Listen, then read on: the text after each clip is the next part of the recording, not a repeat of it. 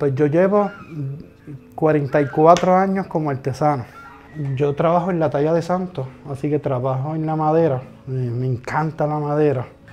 Y comienzo a trabajar básicamente haciendo altos relieves.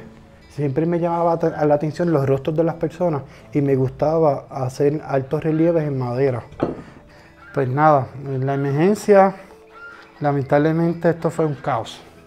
Nos tomó por sorpresa, estábamos ya expuestos a, huracanes y tormentas, pero al nivel en que atacó María, yo creo que jamás en mi vida había visto cosa igual. Tuve muchas pérdidas en la casa, en, mi taller. Sí que se me dañó mucho equipo, documentos, dibujos, este, muchos dibujos que yo tenía guardados de ideas, de cosas que quería hacer, que de hecho eso fue parte también de, la crisis, cuando tú ves que todo se te daña, tú se te va la inspiración, no sabes ni qué hacer.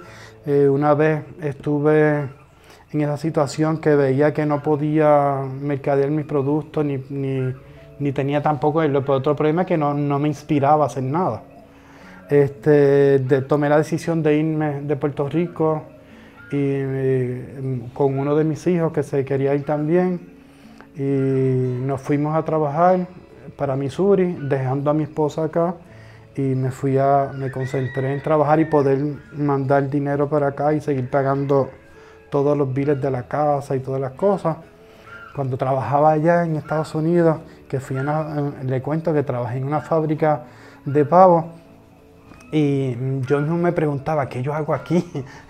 Pero este, lo económico era muy fuerte y tenía que hacerlo, y, pero mi, otro lado estaba loco por trabajar en las maderas, en el arte.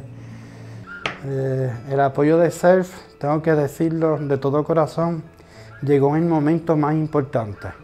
Este, me hizo completar esa fase que, estaba ya empezando a engranar para poder restaurar mi taller. Ya estoy trabajando mucho mejor con la, con la cuestión de, iluminación. Ahora me resta trabajar con lo que es el, ambiente, el polvo y todos los gases que generan al utilizar y al cortar madera o trabajar con algunos pigmentos o pinturas. Y lo otro, pues tratar de seguir aprendiendo nuevas formas de mercadear mi producto para poder, este, poder seguir mercadeando mi producto a pesar de que eh, hayan circunstancias que me estén impidiendo no hacerlo. Así que esta ayuda ha sido fenomenal.